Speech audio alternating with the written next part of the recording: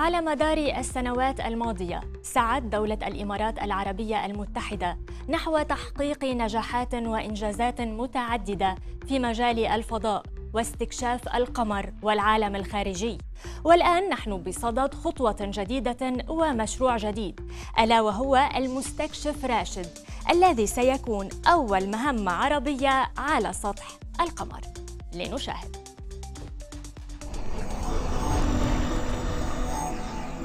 تطلع أسلافنا إلى القمر للاسترشاد به خلال رحلاتهم.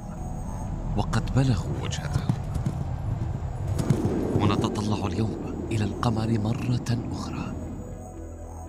لنفهمه بشكل أعمق. حاملين أحلاما وطموحات كبيرة.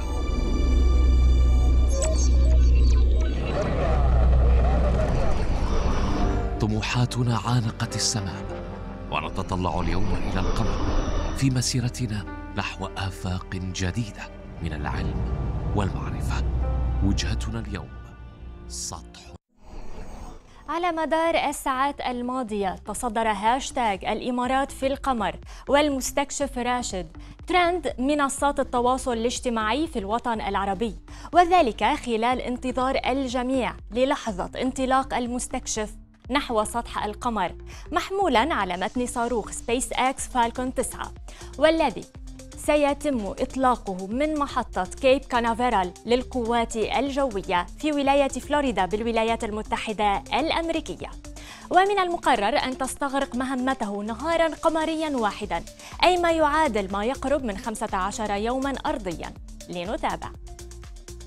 تنطلق مركبة الهبوط على متن الصاروخ فالكون 9 من قاعدة كيب كانافيرال الفضائية في فلوريدا. وتبدأ مسارا منخفض التكلفة إلى القمر الذي يبعد 385 ألف كيلومتر تقريبا من الأرض. تنفصل المرحلة الأولى من الصاروخ ويواصل مساره. بمجرد أن تصبح الحمولة في المدار تنفصل مركبة الهبوط ويتم التخلص من الأجزاء الأخيرة من الصاروخ. تنتقل بعدها مركبة الهبوط إلى المدار الانتقالي وتتسارع إلى أن تلتقطها جاذبية القمر.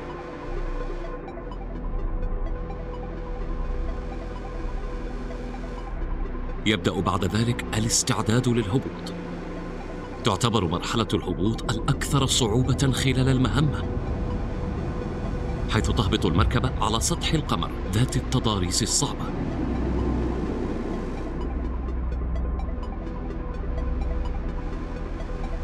ويتم مد الأذرع الميكانيكية. يصبح المستكشف جاهزا للانطلاق وإجراء سلسلة من التجارب التي توفر بيانات تساعدنا على فهم الظواهر الفيزيائية على سطح القمر. سيعمل المستكشف لمدة يوم قمري واحد. تنطلق مركبة. مستخدمو منصات التواصل الاجتماعي تساءلوا عن مهمة المستكشف راشد على سطح القمر ليأتي الرد من مركز محمد بن راشد للفضاء الذي أعلن أن المستكشف سيدرس علم الصخور وجيولوجيا القمر والبلازما والغبار بالإضافة إلى جمع بيانات متعلقة بأصل النظام الشمسي وكوكب الأرض. بالإضافة إلى أن المستكشف يتميز بأربع كاميرات وجهاز لقياس الشحنات على سطح القمر يستخدم لأول مرة في مهمة استكشافية على سطح القمر. المهندسة الإماراتية ريم المحيسني كشفت عن تصميم النظام الحراري المستخدم في المستكشف عن طريق مقطع مصور نشر عبر موقع مركز محمد بن راشد لعلوم الفضاء. لنتابع. أنا ريم راشد المحيسني دوري هو تصميم وتحليل وإجراء الاختبارات الخاصة في نظام التحكم الحراري لضمان سلامة الأجهزة وعملها بكفاءة عالية بمواجهة التقلب الحراري على سطح القمر.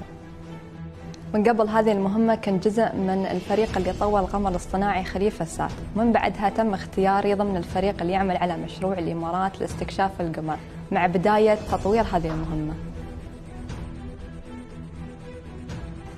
من التحديات اللي واجهتها أثناء هذه المهمة هي فهم البيئة الحرارية المعقدة القاسية على سطح القمر وتم تخطيها عبر إجراء الأبحاث والتجارب التي تحاكي كل ظروف هذه البيئة.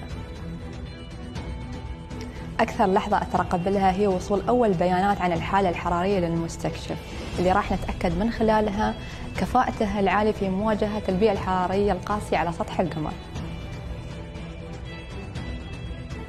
إذا بوصف هذه المهمة والمشروع بكلمة راح أختار إماراتي وأنت عزيزي المشاهد هل تود زيارة الفضاء يوما ما؟